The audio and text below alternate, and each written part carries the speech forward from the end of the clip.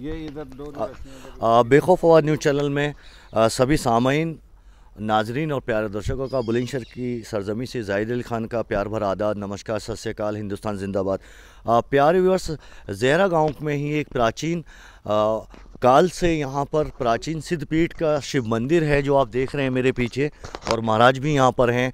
ये लगभग साठ साल, साठ बीघे, यहाँ पर ढाई सौ साल पुराना ये शिव मंदिर है, और मैं आपको दिखाना चाहता हूँ, ये भी एक ऐतिहासिक राष्ट्रीय धरोहर है हमारे बुलंदशहर के अंदर। और ये अभी तक लोग की पहचान से कोसों दूर है और पत्रकारिता के यहाँ पर भी नज़रिए से यहाँ पर लोग नहीं जान पाए इसको और लोगों को पता नहीं। प्रधान जी, उमर जो मेरे साथ खड़े हैं उमर प्रधान जी जो कि अभी मैंने इससे पहले वीडियो में आ, इनका इंटरव्यू लिया आप लोग से रूबरू कराया जो कि पिछले तीस साल से सांप का इलाज करें। प्रधान जी ने अभी स्वयं मुझे बताया तो प्रधान जी स्वयं मुझे यहाँ लेके आए। मैं बहुत बड़ा इनका ऋणी हूँ और प्यारे वर्ष ये भी मैं आपको दिखाता चलूँ कि ऐसी शान शौकत वाली अभी हम चलते हैं मंदिर में जिसका इतिहास 250 साल पुराना है। आइए प्रधान जी। और ये दिखाते हैं हम आपको। ये देखें प्यारे वर्ष बिल्कुल आ जाइए ऊपर आ जाइए आप और चारों तरफ़ दिखाते जाइए। सारे जंगलात हैं साठ बीघे की यहाँ पर। इस धरती पे पेड़ पौधे लगे हैं और ये कैथ का पेड़ है। और ज़रा इसके बारे में हम चाहेंगे प्रधान जी जितनी आपको इतिहास मालूम है प्लीज़ आप ज़रा बताएँ वीर को आपका स्वागत है बेखौफ न्यूज़ चल रहे हैं खैर जी एक संस्कृत में श्लोक है। हम्म। उसमें जब हम पढ़ते थे तो नाम सुना करते थे कैथ का। हम्म।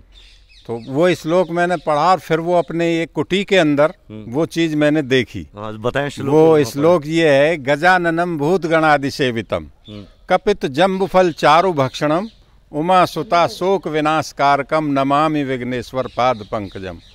यानी गजाननम हाथी जैसे मुख वाले जो हैं वो कैथ और जामुन को बहुत ही चाव से खाते हैं और पसंद करते हैं। तो, अच्छा ये ये कैथ गणेश जी का प्रिय भोजन है। अच्छा, अच्छा। जी। ये कैद का पेड़ है ज़रा दिखा दें सामने।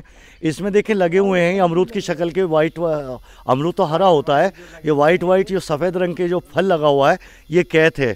और ये कैद जो है ये, ये खट्टा मीठा होता है? जी खट्टा मीठा और ये पेट के लिए इसका चूरन बने बहुत ही बेहतरीन। अच्छा अच्छा। जिन जिन लोगों के गैस बनती अच्छा, है आइए आइए महाराज जी हैं। तो प्यारे वो ज़्यादा ताखिर न करते हुए मैं यहीं से शुरुआत करते हैं। प्रधान जी ने शुरुआत कर दी है। महाराज आदाब नमस्कार शुभ नाम क्या है महाराज आपका? हमारा नाम है महंत चेतनगिरी जूना खालड़े से संबंधित। अच्छा आ, तो महाराज महन जी आ, ये जो प्राचीन काल से जो 250 साल इसका इतिहास इससे पुराना है जहरा गाँव के अंदर हाँ साठ बीघे के अंदर ये मंदिर और ये प्राचीन सिद्धपीठ हाँ, शिव मंदिर। प्राचीन सिद्धपीठ शिव मंदिर है। अच्छा अच्छा।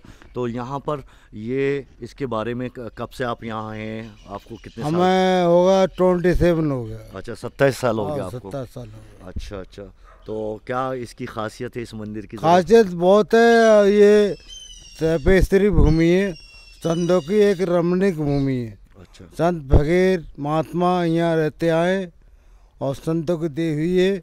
ये मियाँ साहब थे औरंगाबाद के। जीवन अली और जीवन अली के अब्बा।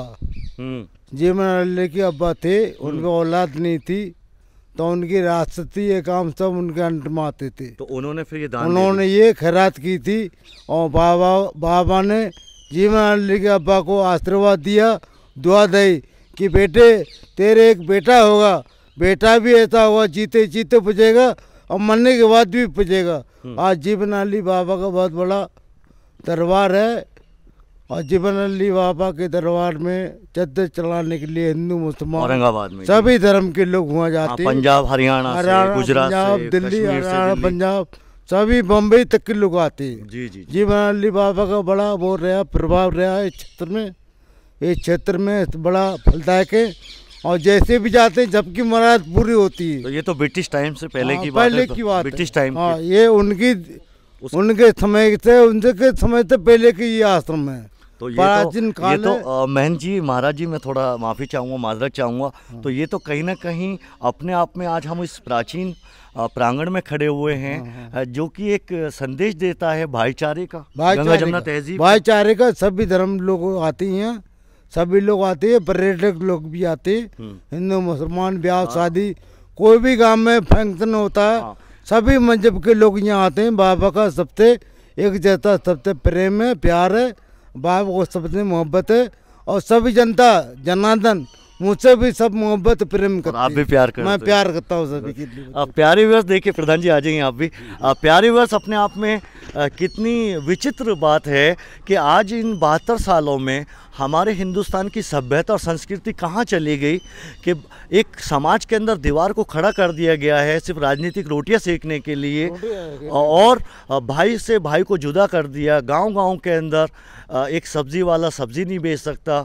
और आप ये देखिए आज हम उस प्रांगण में खड़े हैं औरंगाबाद जो कि मुस्लिम समाज की डोमिनेट करते थे वहाँ पर वो नवाब स्टेट होते थे जीवन अली साहब के अभी हमारे महन जी ने बताया। हालाँकि व्यक्तिगत तो मैं जानता था उनके वालिद साहब मरहूम ने यहाँ कोई महंत हुआ करते थे उस प्राचीन भारत के अंदर, ब्रिटिश हुकूमत से पहले।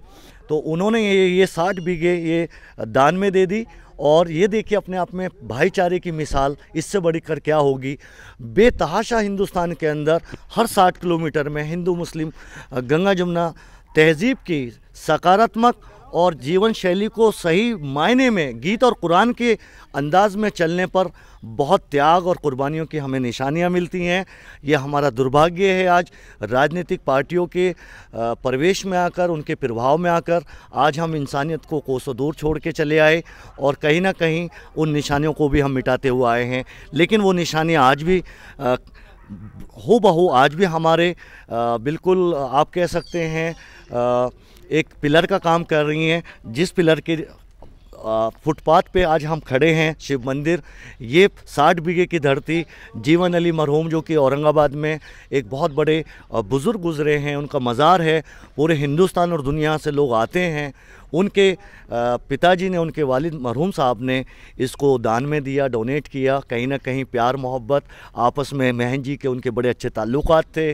और कहीं ना कहीं महन जी ने भी उनके लिए आशीर्वाद दिया, उनके घर पे बेटे हुए जीवन अली जी। और उन्होंने स्वयं कहा जो अभी महन जी ने कहा कि जीते जी भी पूजेंगे जीवन अली जी और मरने के बाद भी वो हम सब देख रहे हैं पूरा बुलंदशहर जानता है और पूरा हिंदुस्तान जानता है। तो प्यारे वर्ष तो महन जी और क्या ख़ास बात है अभी प्रधान जी ने बता हाँ प्रधान जी अ, मैं आपसे ये क्या चौमुखी के बारे में बताएँ जी, जी, जी। हाँ, बताएँ इसमें पहले जो प्राचीन मूर्ति थी हम्म। वो चौमुखी मूर्ति थी शिव जी शिव जी की। जी। अच्छा। उसे सन सैतालीस में जब गदर हुआ हम्म। उसमें लोग काट के ले गए अच्छा तो यहाँ फिसाद कराना चाहते थे हिंदू मुस्लिम। मुस्लिम हम्म। हमारी आपस में फिसाद लेकिन हमारे क्षेत्र के बड़े बूढ़े बड़े